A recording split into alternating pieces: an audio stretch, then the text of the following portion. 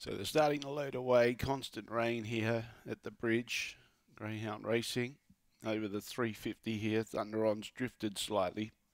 Green light goes on. No more bets, thank you. Set to go. Race 8, the Kurt Donsberg photography. Thunder on began okay. Tax deduction was very slow away. Westgate Girl was up there with Thunder on. Finis Looper coming across to join them. Heckle Me just behind those were Webleg Bow and Tax deductions gradually making ground.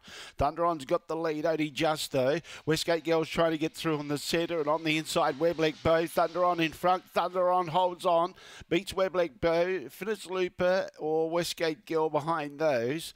Uh, tax deduction made some ground and heckle me probably just in front of it, and the time is around 1990. Just kept kicking over the concluding stages. Began reasonable, then it hunted through nicely. Had a good clear run to get up on the inside of Westgate Girl. Finished Looper began the best, and they sort of bunched up together halfway through the gallop.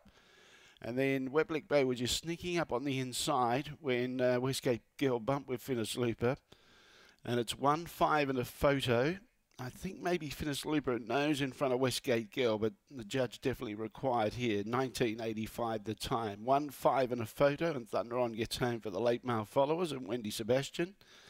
And pretty tight for third. Still no decision at this stage. 7 10 and 13 36 the early splits. 1985 was the run, and the run home was 651. Still 1 5 and a photo here after race number 8.